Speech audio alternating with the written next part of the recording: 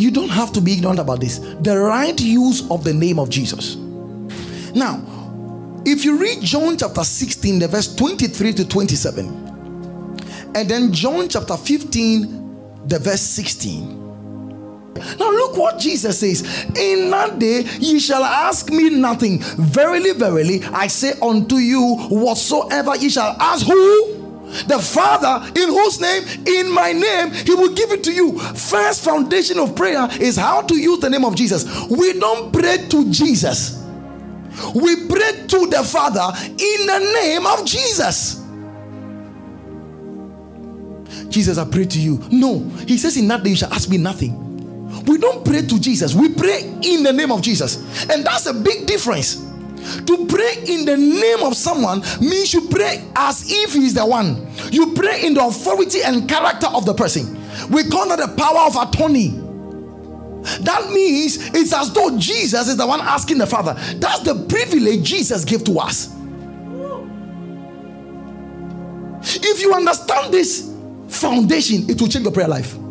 Please listen to me carefully.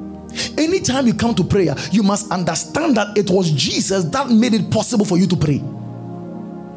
We don't come in our strength. We don't come because we were good boys in a, in a week. We come in His name. So God is accepting us on account of the sacrifice of Jesus Christ. That's what it means when we pray in the name of Jesus. So listen, anytime you come to prayer, in your understanding, you are coming because Jesus gave you access. You must bal- you must set this as a balance in your heart before you pray. I'm here because of him. I'm here in his name. You shall ask me nothing. Whatsoever you shall ask the Father in my name. That means the way I receive results when I communicated with the Father, I have given you by my sacrifice that same audacity to ask the Father in my name. You didn't get this thing. Do you know what that does to you? It brings you humility.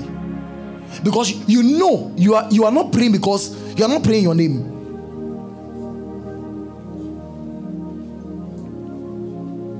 In his name.